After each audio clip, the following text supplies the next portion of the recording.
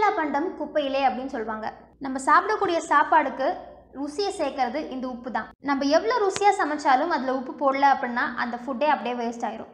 ஆனால் உப்புலேயே மூணு வெரைட்டிஸ் இருக்குது rock salt sea salt table salt கல்லுப்பு பொடி உப்பு.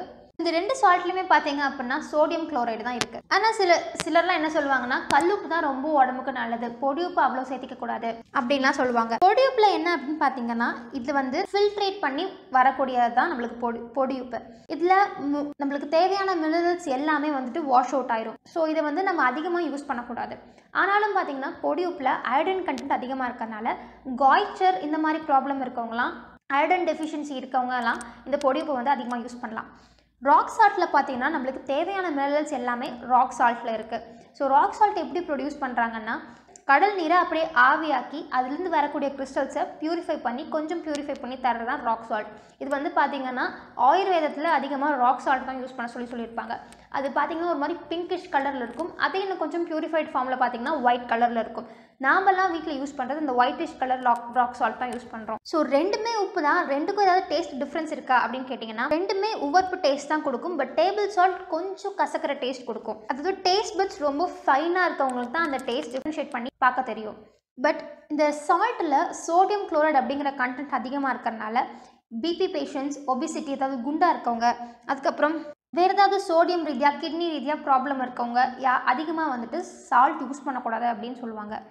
டாக்டர்ஸ் என்ன சொல்கிறாங்கன்னா ஒரு ஹெல்தி பர்சன் ஒரு நாளைக்கு கிட்டத்தட்ட ஆயிரத்தி ஐநூறு மில்லிகிராம் சால்ட்டு தான் வந்து அவங்க எடுத்துக்கணும். அதுக்கு மேலே சால்ட் எடுத்துக்கக்கூடாது அப்படி எடுத்துக்கிட்டிங்க அப்படின்னா அளவுக்கும் மீறினால் அமுதமும் நஞ்சு. அதே மாதிரி தான் அதுக்கு மேலே எடுத்துக்கிட்டிங்கன்னா உங்களுக்கு ப்ராப்ளம் இப்போ டேபிள் சால்ட் ராக் சால்ட்டில் எது பெஸ்ட் அப்படிங்கிறது நீங்களே தெரிஞ்சுப்பீங்க. ராக் சால்ட் தான் கொஞ்சம் பெஸ்ட் ஏன்னா இன்னொன்று என்ன ராக் சால்ட்டில் வந்துட்டு பெனி டிஸ்அட்வான்டேஜ் இருக்குன்னா நம்ம வந்து லாஸ்ட்டாக வந்து அதை எந்த ஒரு சாப்பாடுக்கும் தூவ முடியாது. ராக் சால்ட்டு கொஞ்சம் கிறிஸ்டல் ஃபார்ம் ஃபார்மில் இருக்கும். அதை கரையிறதுக்கு லேட் ஆகும். பட் மோஸ்ட்லி எல்லாருமே வந்துட்டு வீட்டில் ராக் சால்ட் யூஸ் பண்ணி பழங்க பிகாஸ் இதில் பெனிஃபிட்ஸ் நிறையா இருக்குது ஸோ இது என்னென்ன அப்படிங்கிறதையும் சொல்லிடுறேன்.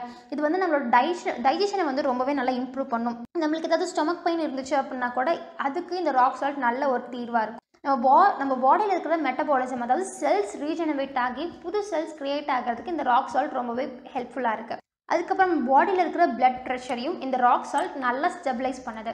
ஏன்னா இதில் என்னதான் சோடியம் குளோரைட் கண்டென்ட் அதிகமாக இருந்தாலும் இதில் அதுக்கு தேவையான மினரல்ஸும் இருக்குது ஸோ அது கூட ஈக்குவலாக மேட்ச் ஆகிக்குது அதுக்கப்புறம் நம்மளுக்கு நம்மளோட இம்யூனிட்டி பவரையும் இது பூஸ்டப் பண்ணுது. நீங்களே பார்த்துருப்பீங்க வீட்டில் ஏதாவது தீக்காயம் பட்டுருச்சுன்னா உடனே வந்து கல்லுப்பு எடுத்து அமுத்தி வைப்பாங்க.